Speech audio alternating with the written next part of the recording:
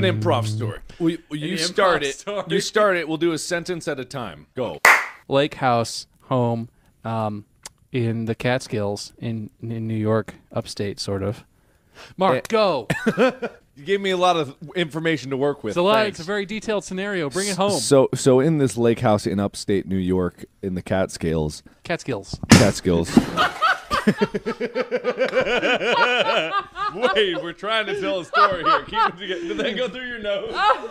That was absolutely. That was absolutely worth it.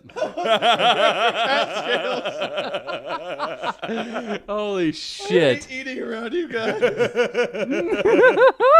Oh Do I need to continue the story or? Yeah, no, Catskills. Go ahead. the Catskills, uh, we're we're the Catskills, which are uh, xylophones for cats, and um, we we we didn't bring cats though with us. So when we heard the Catskills, we knew we were in trouble.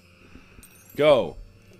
Is it Wade's turn? My turn. It's your turn. I don't think Wade can do it. So yeah, so we didn't have cats with us, but we could hear the cat scales, and uh, it was me. And I forgot to mention that Wade was there, and Wade was just like, "I can't even handle that cat scales exist.